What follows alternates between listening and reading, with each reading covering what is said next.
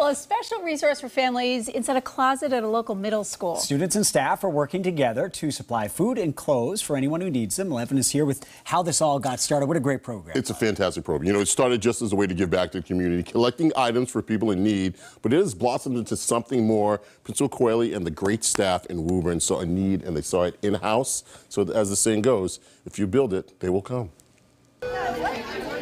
It's a great resource for students and families in need at Daniel Joyce Middle School. With COVID, we realized how important it was and how in our community in Woburn, the need for the food and the clothing. For the fourth consecutive year, the Joyce Exchange is open for business. This is a quote unquote closet in the school that provides food, toiletries, clothing, and footwear, and it's been doing so since 2020.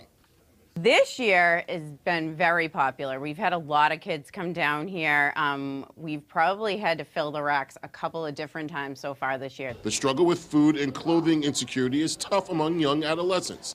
They need to feel welcomed when getting help we kind of sell it like, hey, we're going to go shopping. Let's go check out all this fun stuff.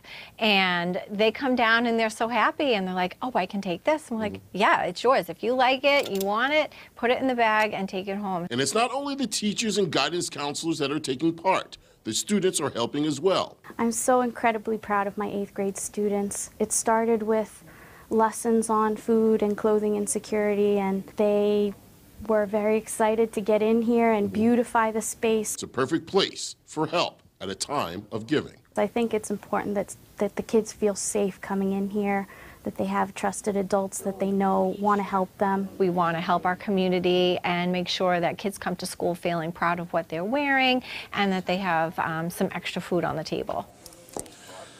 Now, they're always helping the community at Daniel Joyce Middle School. On November 14th, they have a free coats and fun family event. The school has collected over 200 coats, and they're going to distribute the coats to any of the Joyce families in need. That event is from 4 to 6, and again, that's on the 14th and it's the best way to make sure that the kids sometimes kids feel insecure and they don't want to go to school. Mm. well if they can feel secure in school then they'll always come to school. You think about food insecurity but you never think about clothing, clothing yes. insecurity. For kids which Absolutely. is so important. Yeah hygiene insecurity all the time. You got to show up looking fly. Exactly. exactly. That's what it's all about